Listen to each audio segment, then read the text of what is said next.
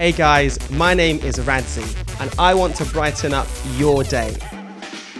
So we are here with the ladies that lift. And Then, we didn't stop there, you're on the golden 4x1 relay. How did that feel? Was that elation? Same sound, different letters for ear. Three cheers. They are absolutely freezing. Our periscope is beginning to take shape.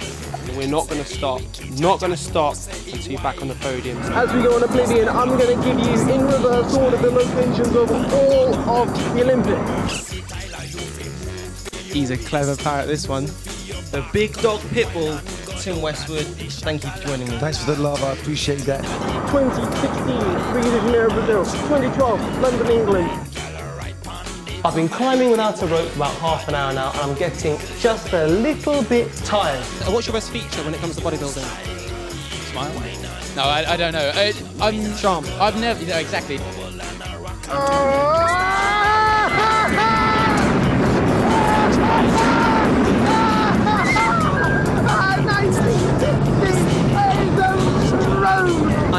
Very excited. The students are coming back by the truckload.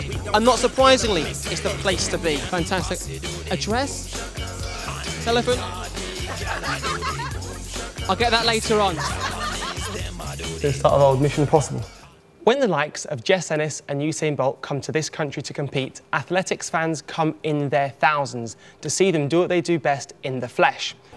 Well, not me, however, as I put on a red lion suit and get very up close and personal with the athletes as I am the UK athletics mascot, Spike the Lion.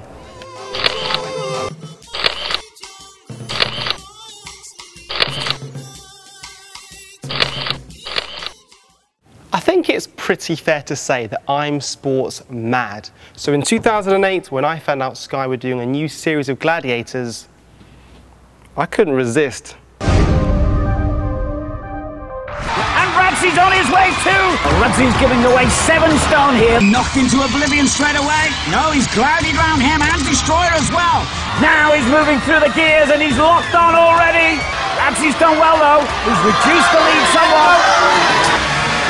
He's got there. He's got there. He's won it against all the odds. And it was actually off the back of gladiators that I got involved in the sport that I currently am involved in, and that's skeleton bobsleigh. It's not the one you might be thinking about. It's not cool runnings. It's not the feely rhythm, feely ride. It's not the no people said, no, you can't believe. No.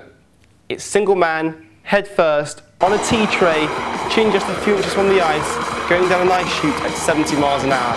And if you're anything like me, if you love adrenaline, you will love skeleton bobsleigh.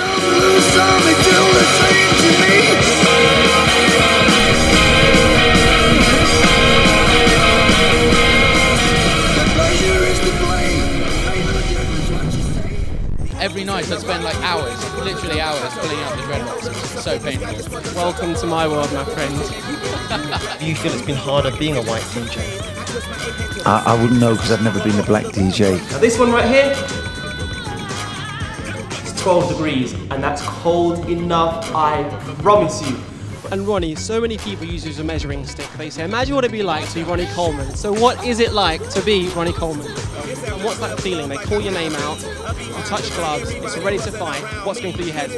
You hear a big tune, it changes your mood, it changes your day, and it sets you right. Whether you're going to work, whether you're going to school, no matter where you are, I want to make you feel good.